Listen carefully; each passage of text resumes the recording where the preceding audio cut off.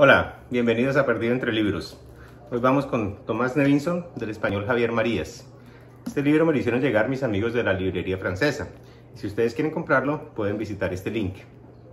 Si hiciera un listado de mis autores favoritos vivos, sin duda Marías estaría entre los primeros, especialmente por dos obras que les recomiendo, Corazón tan blanco y Los enamoramientos.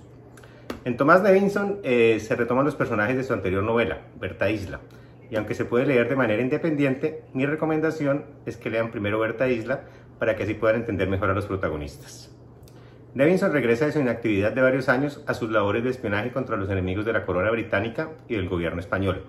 Esta vez debe identificar de entre tres mujeres a un integrante de ETA que participó en dos terribles atentados que causaron decenas de muertes. Para esto debe trasladarse a un pequeño pueblo eh, para interactuar con las sospechosas y así descubrir cuál es la culpable.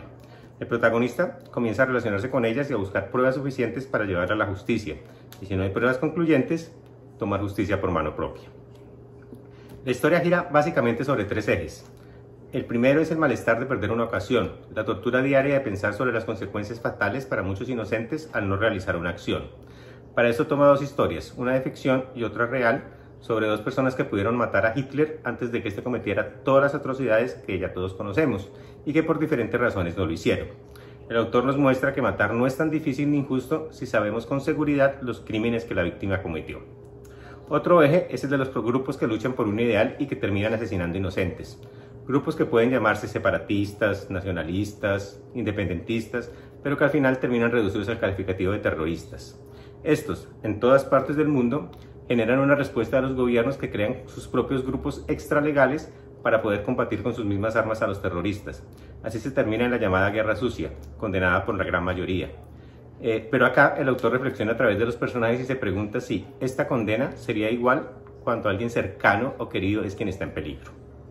El último eje es el de la esclavitud laboral, que te lleva casi a estar muerto en vida, alejarte de tu familia, a ser un extraño para tus propios hijos.